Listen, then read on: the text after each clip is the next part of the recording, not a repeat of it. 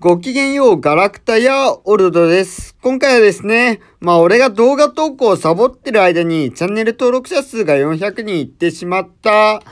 という話でですね、本当に俺が最後に出した動画ってガンバライジングの全国ランキングの1位がチーター。チーター？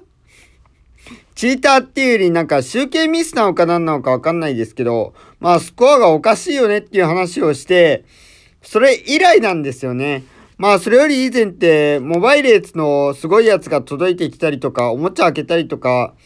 してただけだったんで、本当に何もしないでに、チャンネル登録者が400人いってしまったなぁと。まあ、言うてまだ400人なんで、まあ、何もやらなくて大丈夫だと思いますし、多分ね、1週間したらまたチャンネル登録者200人に減ってたりとか、このチャンネルが消えてる可能性も十分にありますんで、まあ、気張らずに行こうかなと。ま、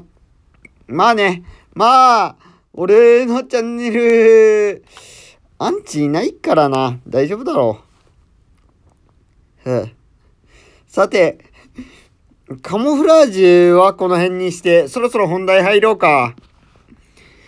というわけで今回は、まあ、デラックスキワットベルトゴールドメッキバージョンがメルカリで22万円で売り出されてたっていう話で、まあ、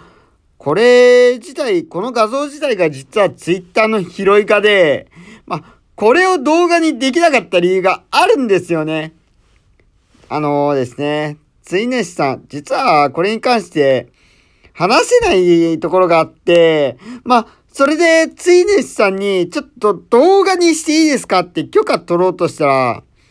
はっきりとですね、ダメですって言われちゃって、ダメって言われちゃった以上動画にできないじゃないですか。というわけで、まあ今回はね、ちょっと動画にできそうな部分だけ、まあ、これの出品者さんとついねしさんで、ちょっとあの別の人らしい感じがするんで、まあ、大丈夫そうな部分だけ動画にしていこうかなと。で、このキバットベルトですね、22万円ってついてますけど、何がすごいのか、ちょっとわかんない人が多いと思うんで解説すると、これ、夏映画の時のやつなんですよ。で、キャンペーン品なんで、これでしか出回ってなくて、で、まあ、20名様にしか当たらないと。20名様限定だから22万円なんですよね。まあ、こんなすげえもんどっから出てきたんだっていう話をすると、つい主さんの話に引っかかっちゃうんで言えないですけど、なんか、今の時代さ、ご時世がご時世だから、こういうコレクションアイテムって言ったもん勝ちの価格になっちゃうっていうのが、すげえなというわけで、まあ今回は、チャンネル登録者が400人超えたよっていう話でした。ご視聴ありがとうございました。